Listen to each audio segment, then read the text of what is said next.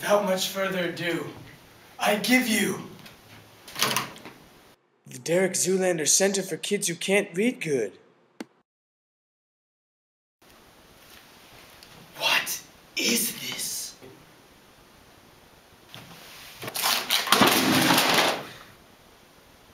A center for ants? What?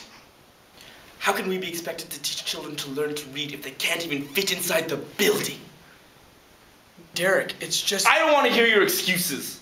The building needs to be at least three times bigger than this.